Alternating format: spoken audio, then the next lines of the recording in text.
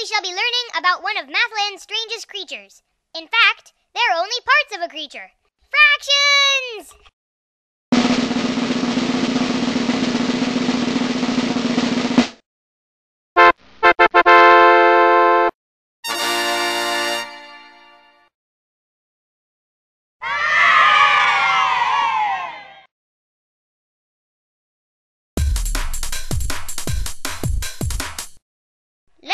What fractions are. Fractions are basically parts of a whole.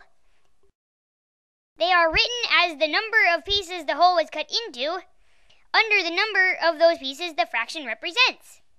For example, one fourth, or one out of four pieces. The number above the line is called the numerator, and the number below is the denominator. Let me introduce you to my friends. This is half. Hi! Is one whole divided into two parts. And there's the other one. These are the fourths. Hey, a fun thing about fractions is that you can stick them together. Watch!